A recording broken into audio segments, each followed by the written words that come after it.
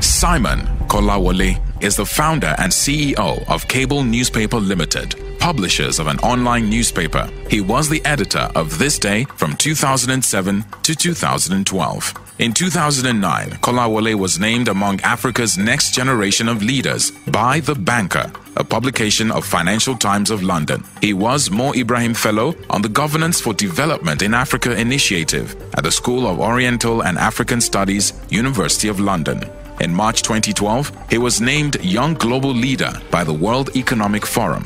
Kolawole concentrates most of his thoughts on nation building and its impediments and has written extensively on governance, conflict, and development. He writes a weekly column for this day. Simon Kolawole will be speaking at the platform on confronting our political, ethnic, and economic challenges as one people with one goal. Date 1st of October. Time 9 a.m. Venue Harbour Point, Victoria Island, Lagos. To attend, register at www.theplatformnigeria.com.